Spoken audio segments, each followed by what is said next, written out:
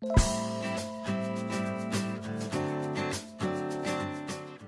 ิดยศร้อยเอกหญิง แต่งนักบินรุ่นพ่อ ปัจจุบัน โอยดา ลาจอแก้วเป็นผู้ประกาศข่าวแม่ลูกหนึ่งวัย 43 ปี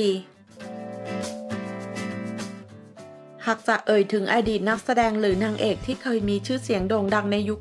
90 คงจะไม่พ้นชื่อของโอยดา หรือร้อยเอกหญิงยดาโชติชูตระกูล นางเอกหน้าหวานขวัญใจวัยรุ่นยุค 90 ที่แจ้งเกิดจากผลงานละครเรื่องแรก รักแท้แค่ขอบฟ้า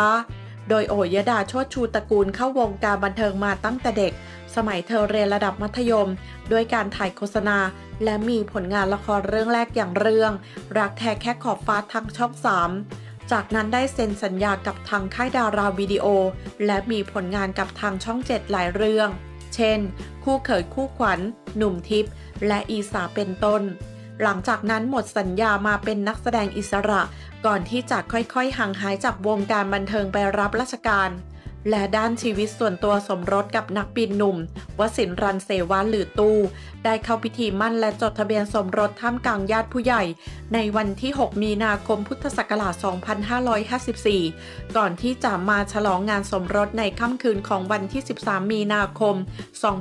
2554ซึ่งภายในงานมีบรรดาเหล่าเพื่อนนักแสดงของสาวโอมาร่วมงานอย่างมากมาย อาทิ แนนชลิตาเฟื่องอารมณ์ ผัดไทย และต่อมา โอยดาก็ได้มีลูกสาวมาเพิ่มความอบอุ่นให้กับครอบครัวอีกหนึ่งคน ก่อนหน้านี้หลายคนอาจไม่รู้ว่า โอเคยเจอกับช่วงเวลาที่ยากที่สุด พอลูกเคยหลุดไป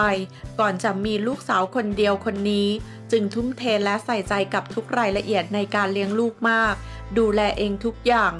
ช่วงที่ผ่านมานี้เห็นเพื่อนๆรวมถึงคนในวงการเป็นคุณแม่มือใหม่กันหลายคน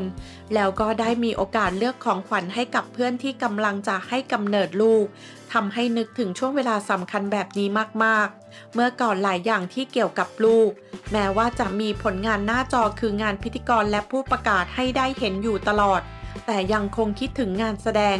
ยิ่งตอนนี้ลูกโตเข้าโรงเรียนแล้ว สามารถจัดสรรเวลาได้มากขึ้น ส่วนก่อนหน้านี้ยังไม่เคยแสดงในบทบาทแม่ เพราะก่อนหน้านี้ยังไม่มีลูก แต่ตอนนี้พร้อมรับทุกบทบาทแล้ว หากมีโอกาสอยากหวนกลับมารับงานแสดงอีกครั้ง เพราะว่าเราก็หายไปนานจากตรงนั้น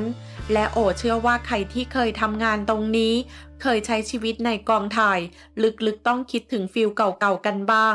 ทั้งเพื่อน ทั้งทีมงานมาเจอกันพูดคุยกัน จริง ๆ มีบทที่อยากเล่นเยอะแยะเลย